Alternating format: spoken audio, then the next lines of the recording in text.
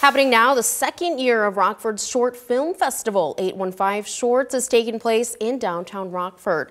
815 Shorts is a film festival in Rockford celebrating local filmmakers from Rockford and throughout our region. A total of 20 local, regional, and international short film screenings will take place throughout the evening at the RPL Nordlof Center with the last screenings beginning at 7 tonight. Founder of Plus 7 Company, who runs the event, says this is a great reason to bring the community together.